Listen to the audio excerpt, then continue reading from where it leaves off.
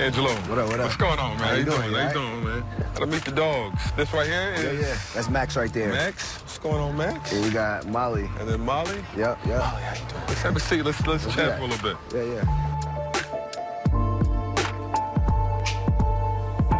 You always been a dog person? Always. When did that start? Um, I would say with my grandmother. She um she had a, a, a poodle such as this one.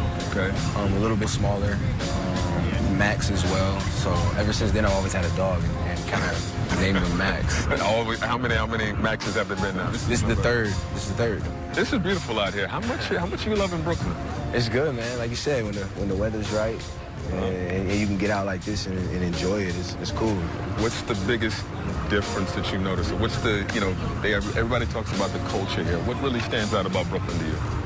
Um, I don't know. I say you, you really get the seasons in New York in general, you know. Um, but but Brooklyn, I would just say that the, the main thing people preach the culture, like you said, but the food is is is different restaurants and stuff on every corner, you know. So um, you get the opportunity and time, you get out, you you you might run into five, ten different re- new restaurants, you know. So that that's definitely uh, a pleasure. Does this feel like the first time when you've really been able to get settled and feel stable? Yeah, I would definitely say this is the um, first, you know, summer and, and, and year of just, you know, sh- that that structure of.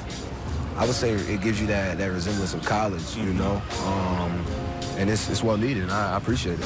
What what does that mean to you? What does that mean to you to, to head into the off season, know you're heading to the training facility, talking to the same coaching staff that you had the year before, same general manager you had the year before? It's good, you know. It gives you a, a stable, you know, feeling. You get you get that comfort knowing that you- you're seeing the same faces and you got the same teammates coming in and stuff like that. That, like I said, that structure and comfort is, is what guys need at this level.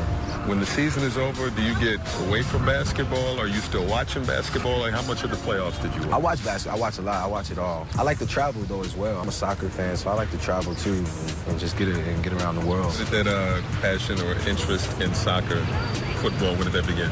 Uh, high school. My um, Montverde, our high school team was like the number one team in the country for a few years running, and um, I just became a fan instantly. Um, they, they they got some guys that that I saw the excitement in uh, soccer, and, and that's what made me a fan.